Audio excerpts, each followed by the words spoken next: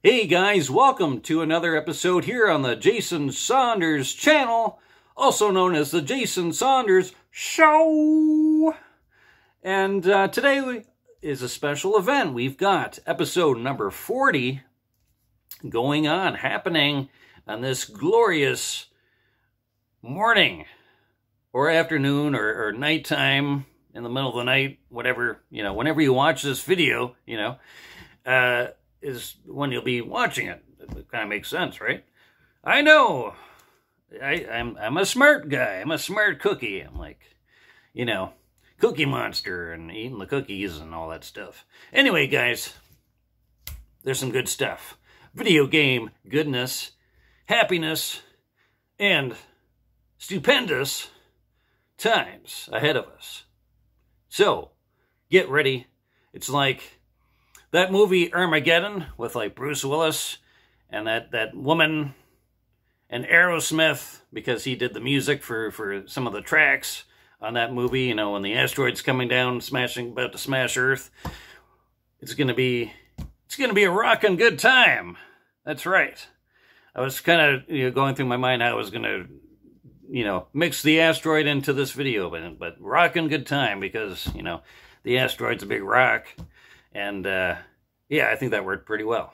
All right, let's do this. We've got Final Fantasy 8.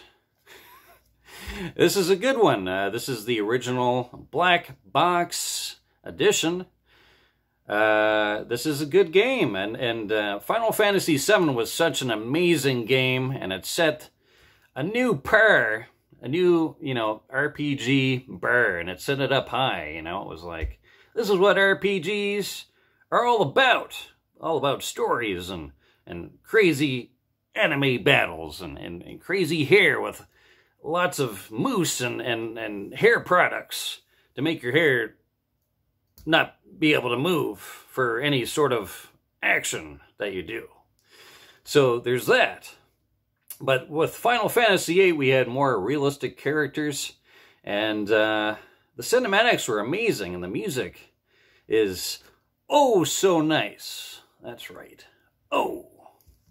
And uh, Squaresoft, before they came the Square Enix. So Squaresoft did some really nice stuff back in the day, back in our time, when we were little guys, or, or little little gals, whatever, you know.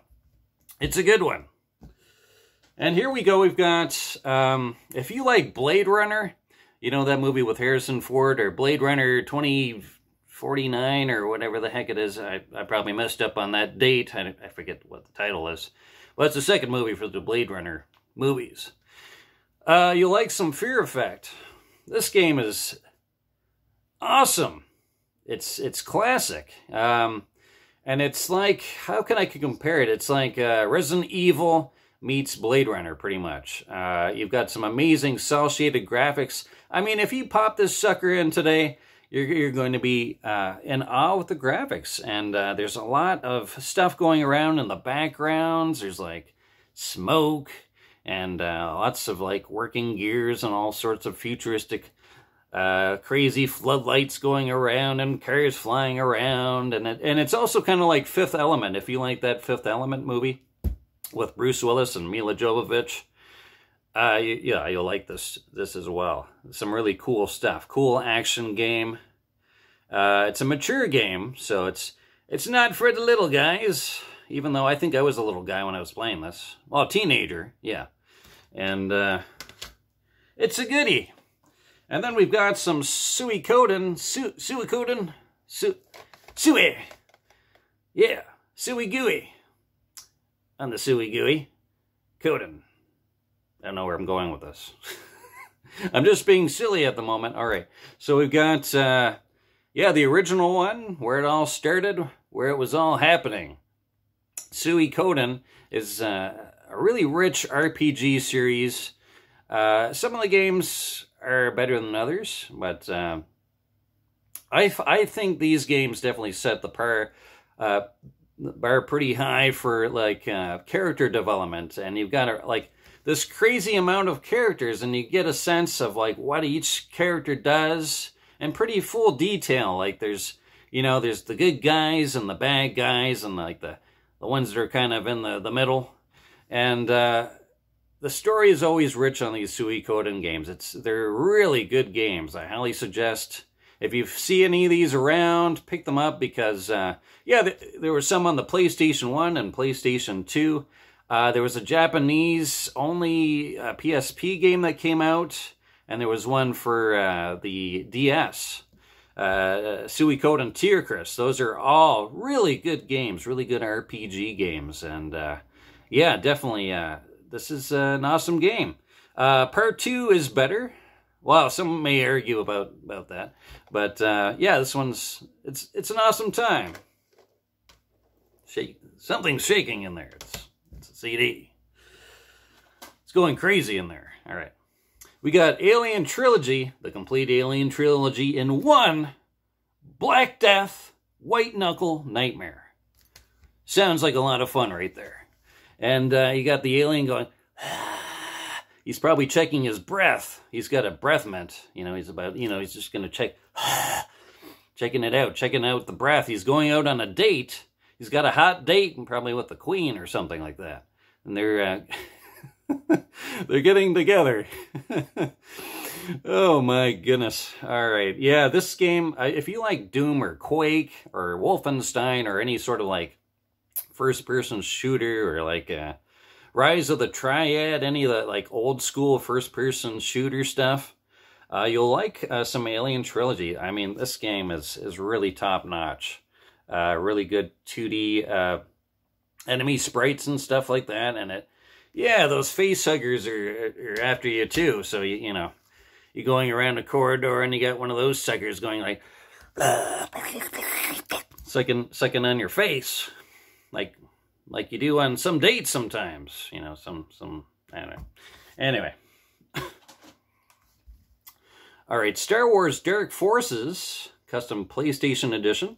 Uh, this game, again, is the same sort of uh, goodness that Alien Trilogy has. It's a nice uh, first-person shooter game you're blasting stormtroopers in first-person mode, and uh, that's always a lot of fun. Good game, great sound, uh, great music all around good stuff. And then we've got Chrono Cross. Is something moving in there? Uh, anyway.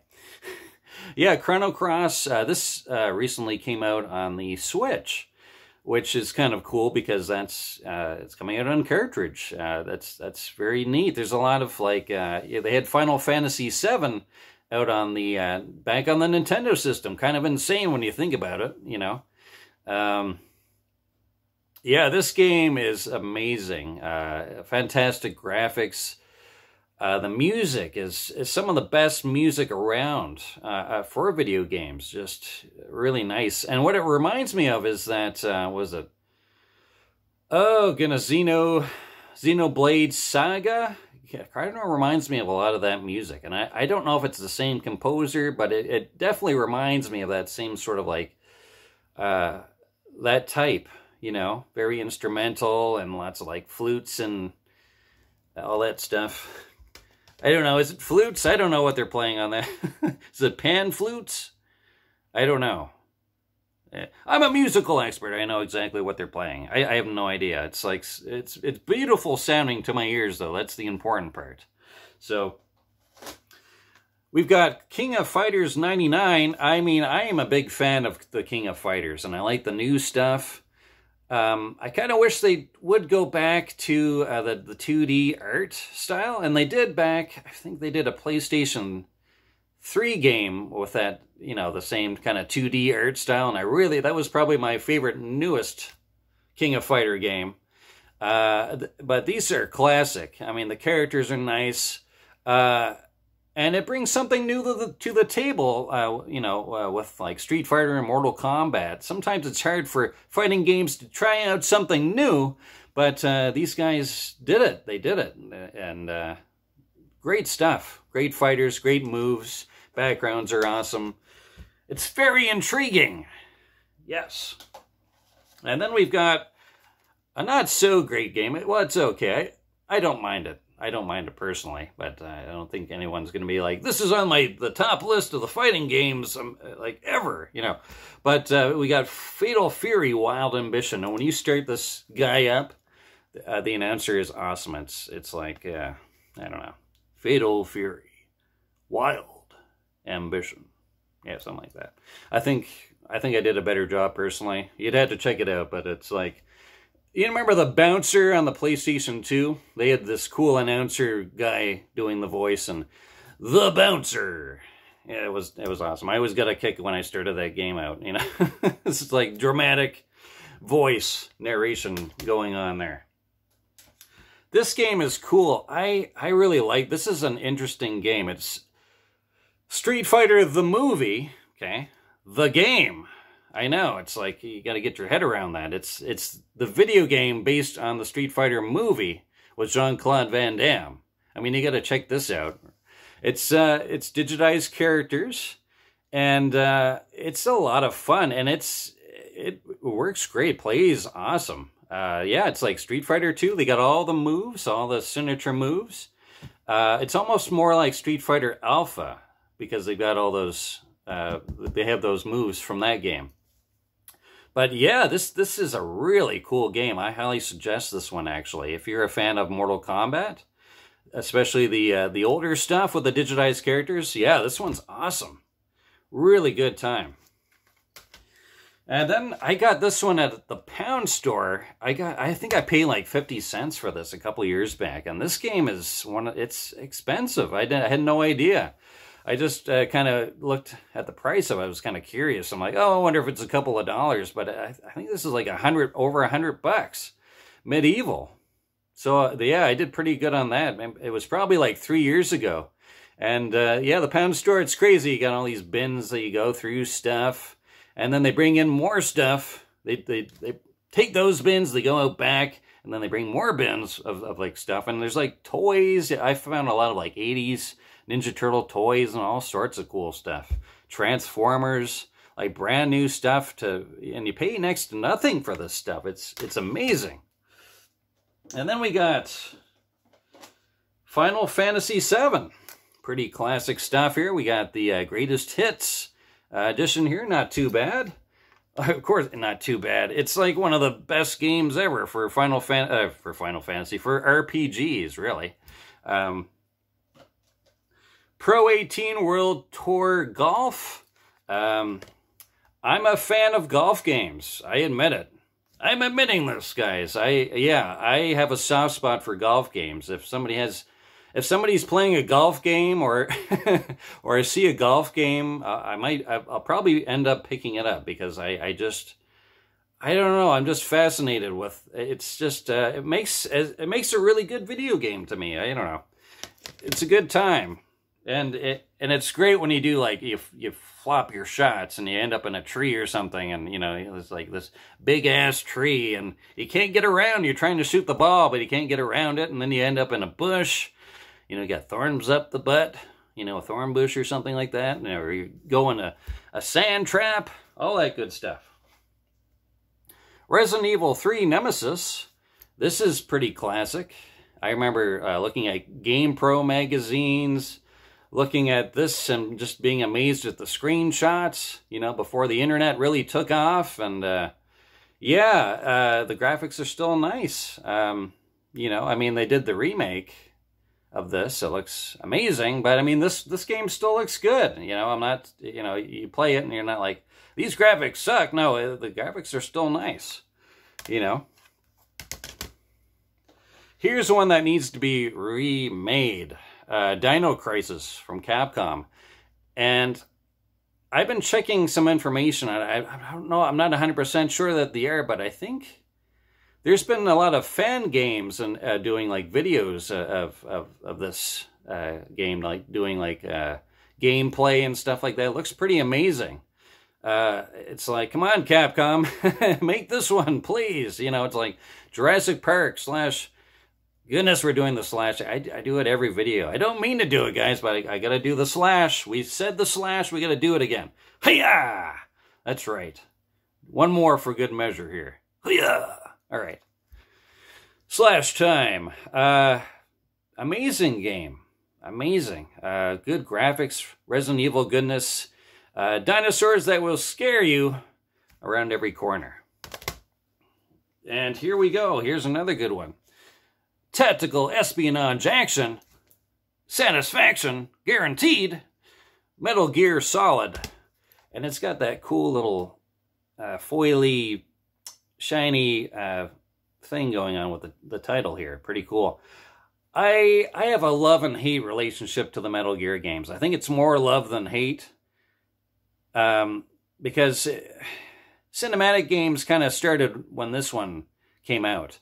And I, I love some cinematics, but you, you know you got to have some gameplay, and this this had it too. But when this came out, it was it was amazing. I do admit that, uh, and it was you know very realistic, uh, movie like video game. You know, full on uh, voice acting, very impressive voice acting, and you know you got a lot of like the original Resident Evil, uh, known for the cheesy voice acting, but uh, you know, and that that's awesome on its own. but uh, yeah, I mean, I, I wish they were still making these games, you know, despite uh, the heavy, you know, uh, full on story and stuff like that. But I, I do miss them a lot. And uh, it made a huge impact on video games, and uh, it was an amazing time. Parasite Eve, Squaresoft, had the uh, playable demo uh, for, uh, for Xenogears, and we got Bushido Blade 2, Brave Fencer Musashi, and also uh, Final Fantasy 8. And I, I, again, I missed these here, having like the demos for stuff, you know. Uh, that was pretty neat too. And uh, some of the gaming magazines back in the day had free demos that came with the magazine. So that was another cool thing from back in my time. God, I sound old. but this game is amazing. Uh, there, there was a new game for the PSP, which was pretty cool, and uh, they did some amazing. They pulled off some amazing stuff for the play, uh, the PlayStation Portable for that game. Yeah, it was like uh, Parasite Eve, the third birthday, or something like that. Really cool. And then we've got uh, Final Fantasy uh, nine. Very cool nice, uh, you know, and uh, again, another nice Final Fantasy game. Very cool. And then the last game that I have here is The Legend of Dragoon. Again, another classic. Uh, this is the uh, greatest hits. Again, greatest hits. Yeah, some really good stuff. Nice classic. I mean, the original PlayStation is such a classic system. And uh, I didn't own it originally as a kid, uh, but my friend had it, and I was amazed at some of the games and stuff like that, especially those Final Fantasy games when they're summoning like uh, those crazy monsters, you know? And I was just like, oh my god, this is so cool. I think especially when uh, my friend had uh, Final Fantasy VIII playing, and, and yeah, and what was it, the Ice God Shiva or something like that? I can't think. Of, I think that was the name of, of the, the god or whatever, the the thing that you summon. yeah, it was this crazy thing, you know, special effects and all sorts of cool stuff going on there. Anyway, guys, hopefully you enjoy my uh, PlayStation 1 original collection. Uh, tune in for more stuff on the Jason Saunders channel. Thank you all my subscribers. Thank you all my listeners and newcomers to the channel. Uh, if you like my content, be sure to Ring the bell, the church bell, the dinner bell. Yeah, lunch is coming, guys. You guys are hungry, you need some food. Ring that bell, ding the bell. Ding-a-ling the bell.